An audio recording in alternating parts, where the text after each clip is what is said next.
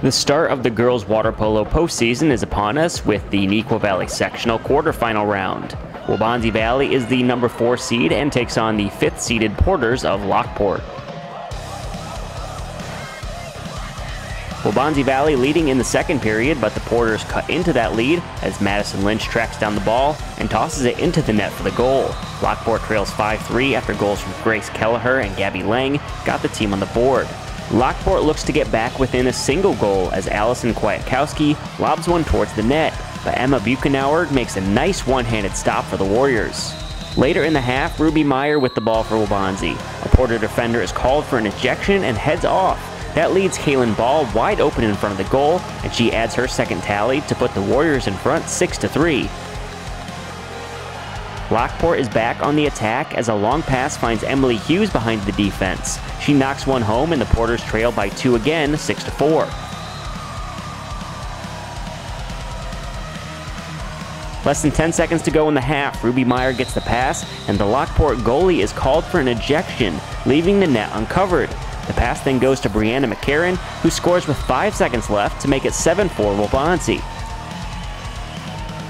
But it appears the Warriors left too much time on the clock. Faith Hagman launches a long distance shot that perfectly finds the top shelf for the goal.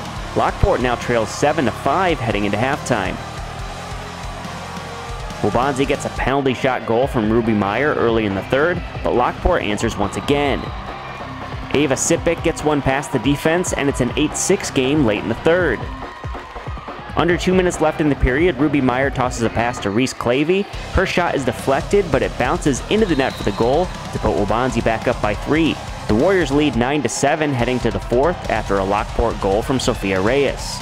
Lockport looking to make it a single score game, but the Warrior defense rises up. Sarah Taylor helps deflect a shot, along with Buchenauer.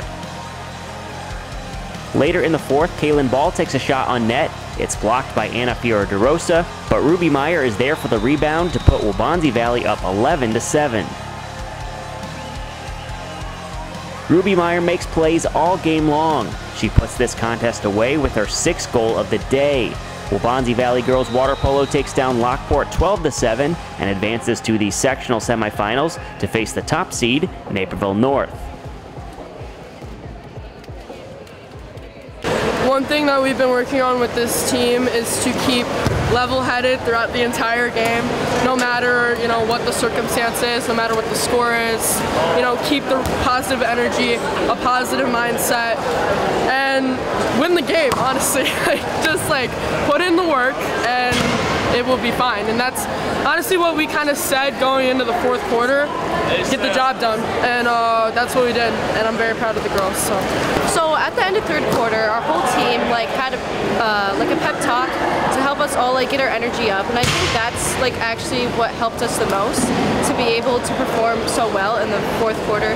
Um, me personally, I just had to keep my head high and like just finish the game off. Hopefully, we would win. And luckily, we did. So yeah. Naperville North is a very, very good team, as we all know.